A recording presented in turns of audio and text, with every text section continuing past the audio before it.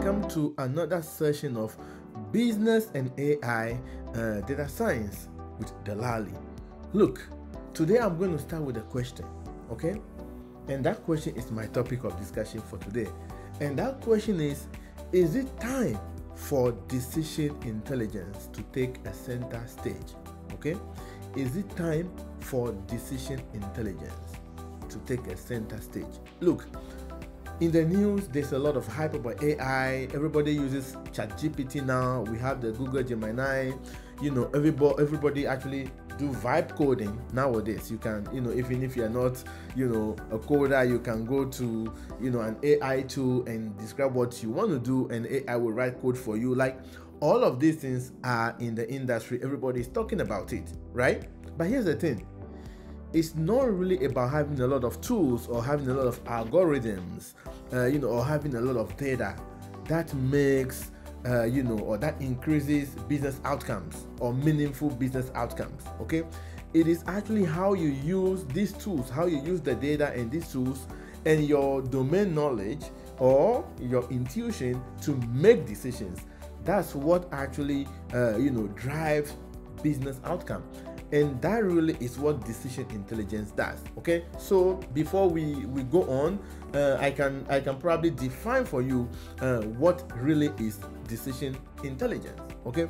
Well decision intelligence is a multidisciplinary field that combines you know data ai machine learning statistics as well as behavioral science psychology business intuition you know, business context, you know, bringing all of that together, human judgment, bringing all of them to uh, all of that together to actually come up with uh, you know meaningful decisions that will drive uh, meaningful outcomes okay?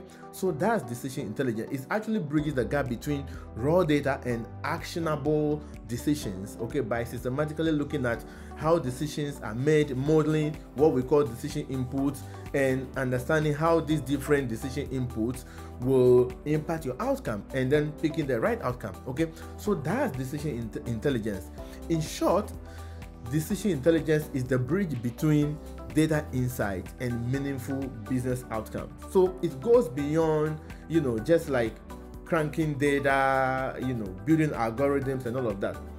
But the thing is that a lot of people are not talking about this. Everybody is talking about AI, you know, everybody is talking about ChatGPT. But what about the decision, the decisions that we are going to use those tools to make? And I think that it is time for decision intelligence to actually take the st- center stage. And guess what? Only a third of organizations are actually doing decision intelligence properly today. According to research by gartner okay gartner is a huge and big consulting uh, firm okay? And their research shows that only a third of organizations are actually doing decision intelligence. But i think it should be more than that okay? So i'm going to explain to you so that you can actually understand this. I'm going to explain to you differences between what i call the traditional data science or analytics versus decision intelligence. Okay, so what are some of the differences between what I call traditional data science or analytics uh, to uh, decision intelligence? So, differences between traditional data science and analytics and decision intelligence. Okay, so let's let's talk about some differences. Number one is that traditional data science or analytics focuses more on generating insights predictions and trends from data okay? So of course they get insight and trends you know from data. But decision intelligence actually focuses more on making actual decisions based on this data or models and business context. So that's one business one big difference okay Decision intelligence is always about the final step, making the decision based on the data. Okay, and sometimes traditional data analysts actually also help doing that, but that's not like the center of most of these, you know, traditional uh, analytics. Okay, that's number one. Number two is that traditional data science focuses a lot more on like models and algorithms like regression, clustering, and all of that and sometimes they are often even isolated from the decision making process.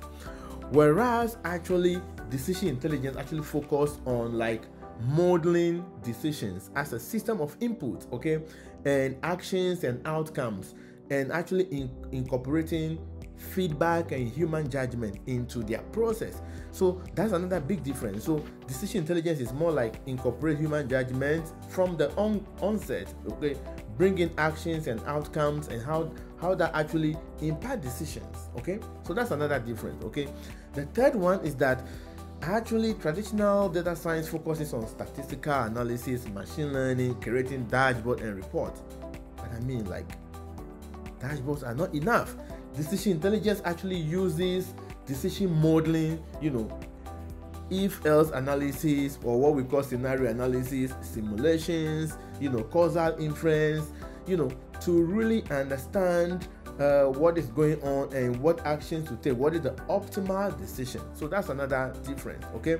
Um, of course, data scientists, you know, they interpret results and sometimes they just interpret results to the stakeholders and then hand over the data to the stakeholders to make decisions.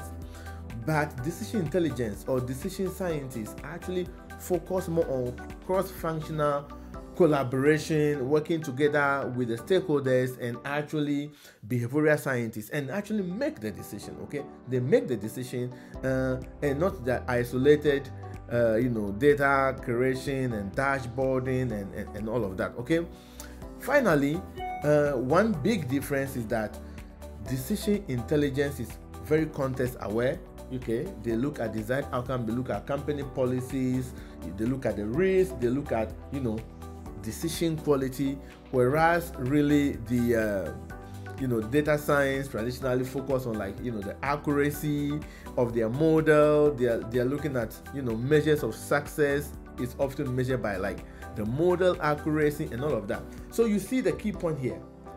Decision intelligence is mostly based on uh, you know, just bridging the insights and the action, making sure that whatever you are learning, you are using it. Uh, and I mean, don't get me wrong here.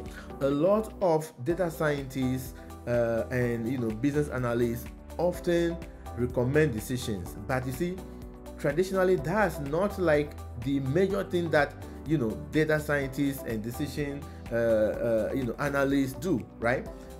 But decision intelligence is really, really, really focused on the core of decision making, understanding the various components, modeling that, and making sure that uh, you know everything we learn from data is, is combined with human judgment, is combined with business risk, business rules, uh, you know, and be be implemented into into decision. Okay, so I hope this is very clear. But in fact, in order to even make this clearer, I'm going to show you, uh, you know, some very simple examples, okay, of uh, you know, decision intelligence and traditional statistical analysis or data science. Okay, now let's say you are predicting customer churn. What traditional data science will do is they will actually focus on like what customers are likely to churn. Okay, they will do that prediction and then they end there. But decision intelligence will go further and decide, okay, which of these customers are important for us to, to retain and what can we do to actually retain them. So that's clearly decision intelligence. They will know which specific customers uh, we want to target and retain, and what will, what should we do? You know, what are the various ways we can target them? What is the optimal way to do that? Okay, that's a very simple example. Okay, another example is in demand forecasting. So traditional data science or analytics can forecast and predict the future of inventory and all of that, right?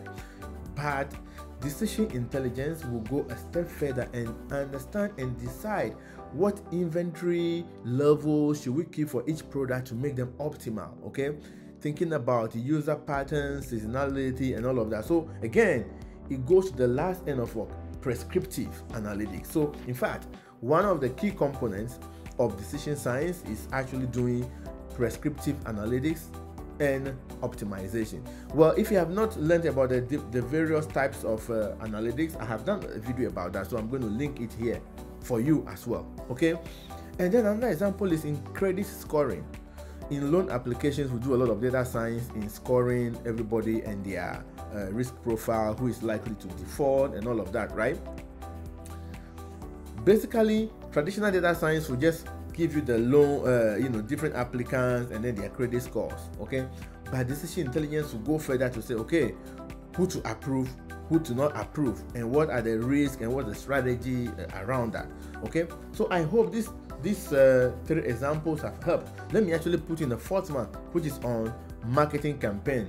So you may actually have a predictive model traditional data science to actually identify top performing marketing campaigns okay? And then and then end there. But no you are not making the real right decision yet. Okay? To actually do this uh, in in a way of decision intelligence you have to go further and understand how do i allocate the budget? Okay? Among all these different top performing campaigns and which audience uh, you know are better for what campaigns? And how can i actually allocate this budget to maximize my return on investment or minimize my waste okay? So this these are very simple examples. And again my point of the video is like many people are not talking about this. Everybody is talking about like all the algorithms all the data and all of that. So uh, i hope this video very clear. But in the next video i'm going to talk more about why i think this is even more than ever the most important time for uh, decision intelligence to take the center stage. So, uh, see you in the next video. Bye bye.